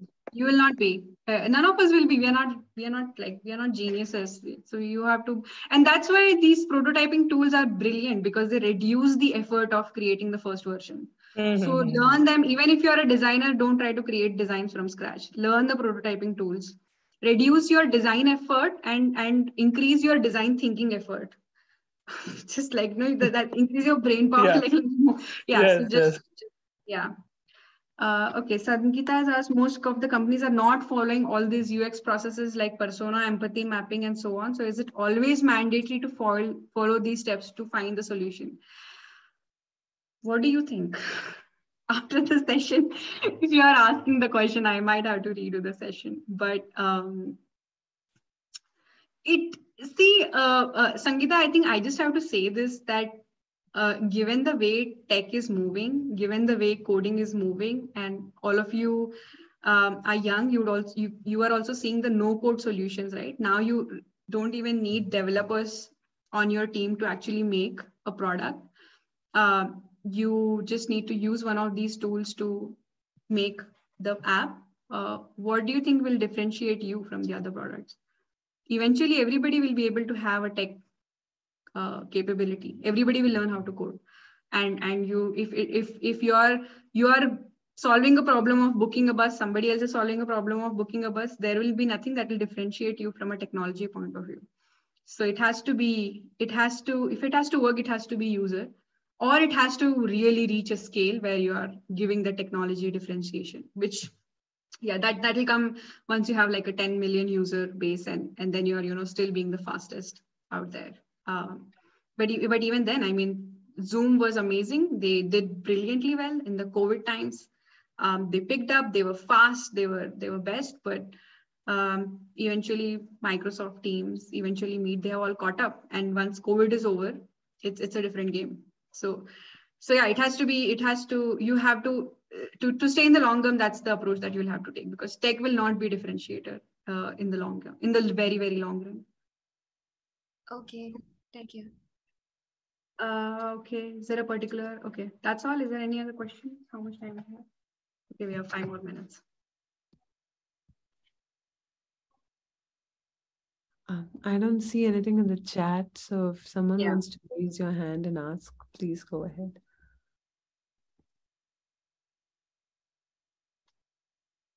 Yes, Amrita.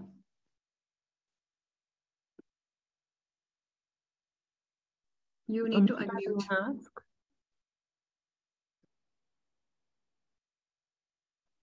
Uh, you're on mute, Amrita, so we can't hear you in case you're talking. Okay. Uh, anyone else has any question? Siddhant, yes, go for it. Uh, ma'am, sometimes we are creating, uh, it's a basically a design question. We are creating some extraordinary design and uh, we have to give our developer and developers say, oh, it's not possible. so how to deal with them and how to convince with, okay, it's possible. We have seen somewhere else and someone it's creating. So how to deal with your developer and how to deal with your team? sometimes your project manager don't understand you sometimes your stakeholder not understand you and they say hey, please change your design so and how you deal with them uh, so then the way I dealt with it was to uh, involve the developers in the prototyping stage. So see, you have made an extraordinary design. That's great. But there is a reason that you made that extraordinary design. And that reason has to be communicated to the developer. Mm-hmm. Otherwise, see, I mean, you know, I was, uh, uh, today we were discussing this example. Uh, there is, let's say there is a screen, there are two app screens, and uh, let's say there is a loading uh, screen of a tiger, which is blinking five times.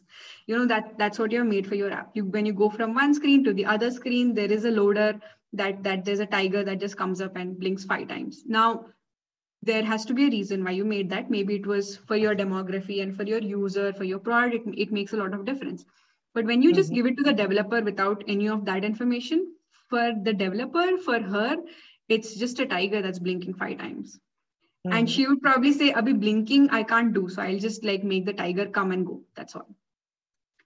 So if, without that communication, nobody's a mind reader, right? So it's not unless you communicate the reason for why you're making the design, nobody is going to understand. Even the most extraordinary design will need explanation as to why those choices were made. And uh, usually it's very late to design everything and then do the explanation, which is why I used to uh, do that at the prototyping stage itself. So that takes like half an hour time before I even get started with the design. Um, because you would lay down the principles first, right? Why you're why you're making these decisions. There are certain reasons yes, yes. why you so you kind of run run the developer through those reasons or run the product manager through those reasons even before you get started. That mm-hmm. usually takes 15 20 minutes but it just aligns everybody beautifully. And I, I, after that i never had problem. I think i i it it, it helped in two ways. One uh, the developers also could contribute to something and they always they, and that kind of made them feel a little bit more involved otherwise the developers always feel that you know you're just giving me a hand me down kisi ne design kar somebody has decided this needs to be done and i just have to build it like what is this i'm yes, not a, yes. I am I am also a smart person. Like so so when yeah. you which is just true. I mean they they are uh, uh, smart. I'm sure. So you kind of involve them at the time of prototyping or ideation. Then they also and usually they don't have much input, but they'll have one or two things. And when you incorporate that, they feel heard. Um, that makes mm-hmm. a huge difference because it increases their investment in the product. And then when you also run them through the principles before designing, uh, once the design comes to them, they know why you have made those choices.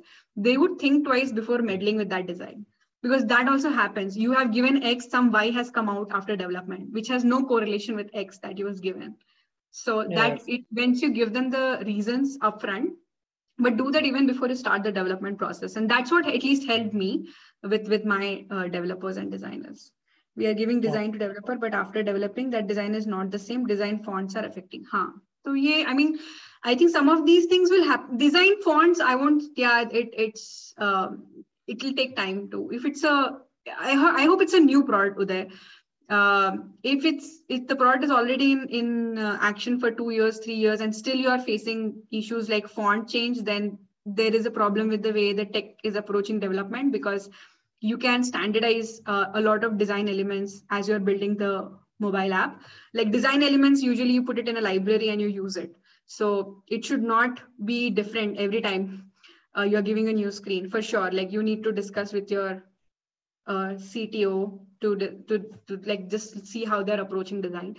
But if it's the very beginning, you're in the first month, second month, uh, it's, it's okay. I think it makes sense.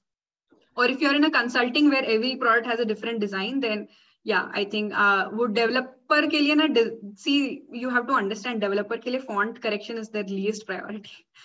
Their incentive is how do i make this app run fast? How do i make sure this api call is made in a millisecond? And you you as a designer are, are not worrying about this problem right? And they are worrying about this problem and they better worry about those problems. They better think about making the app running fast because nobody else is thinking about it um, so it's okay if some of the fonts are, are here and there, you will have to, I think those are the corrections that you'll have to do. So just get a junior person to do the testing, uh, someone who's just starting out in their career so that they can build the attention to detail uh, as they work through this? How do we ensure that we are working on the right user problems? Because the end of the day, designing solution takes up a lot of time and money, and we don't want to waste our energy. And so you have uh, greatly summed up the session today, Miss Tina. Um, by following the UX design approach is how you ensure that you are solving the right problems. You always uh, start with what is the user goal that you're trying to achieve that the user is trying to achieve with your product and you look at building basic prototypes talk to a user uh, uh, to actually get that agreement that yes you are solving the right problem for us and only then give it to a designer to design or a developer to develop because both design and development are very expensive uh, yeah i mean they take a lot of time and bandwidth and you do i mean none of us like reworking on things so uh, yeah, uh, I, I don't, do, do you need more details on this, Bestina? I just, but this is the way, I mean, you'll have to take the UX design approach where you, where you put the user at the center. So yeah, I think uh, just to take a step back, there are some things like say a customer journey map, right? Which kind of defines the journey of the user with your product from beginning to the time they actually exit the app or, or their subscription ends in some cases. Uh, those documents can actually be fundamentally organization level documents. Then you can, every time you make a new feature, you can refer back to the customer journey map and see if it's reflecting, if it's fitting in, if it's something new. Uh, every time something new comes up, you can always, so, so customer journey map is a great document. Uh, product OKRs are great document. Product flywheels are great uh, uh document. These are uh, vision setting, goal setting documents, which which every company should have at some point, um, so that uh, they act as the north star and and make sure that you're not solving some basic problem. Um, the other way to do it is also uh, we we used to do this that we for every feature request that would come we would usually take a vote of uh, a customer and then somebody from the internal team who was facing the customer and then kind of vet it. If both of them are saying it's important, then we would just go ahead and take it. So that was something that worked for us, especially feature requests that would come from the field or from the user directly. Um, we would usually see how many more users are asking for it or or someone who you know because we were working with teachers for example and we also had a teacher trainer so we used to ask our teacher trainer and the teacher to rate the feature on a scale of 1 to 5 and if both of them are rating it 5 4 then we just go ahead and build it if one is rating 5 one is rating 1 then we would kind of put it on hold do a little more research to figure out what is the problem that they are trying to uh, solve. Uh, I hope that answers your question. Yeah, I think Saraswati, you've been extremely patient and we have taken more than what we had decide, decided on. It's beyond okay. two hours. So I won't trouble you more. Uh, sure. Thanks a lot for this session. And the topic is something that I take personal interest in as well. So I'm sure everyone has a huge amount of takeaways from today's session. Um, yeah, and yes, I'm available on ADPList. If you want to do a detailed deep dive, please feel free to uh, block a session there. I'd be happy to um, share more details, discuss notes which are specific to your context. Because again, it's very hard to do a generic UX session. Uh, we'll have to see what works for your problem. So I would be happy to do that. Thanks for mentioning that, Saraswati. And uh, guys, if you have any more topics that you have in mind for the upcoming sessions, I would love to receive those through LinkedIn as well. And uh, finally, we have our Sunday ritual of Q&A with Harsha at DesignBoat. So if you guys are keen on that, you should head to the website and register for the same. So thanks, guys, for attending. And thanks, Saraswati. This was great. Thank you. Thank you. Bye. Bye, Bye everyone. And um, Devaki, I'll send you yeah. the presentation so that you can pass it on to the participants. I don't know if you can do that. I'll I'll include the links in the in the mail that we send out. Oh, the presentation okay. is there in the recording anyway. Okay, great. So I'll do that. I'll just send you the presentation. Sure. Thank you. All right. Bye, everyone. Bye. Thank you. Thank you, ma'am.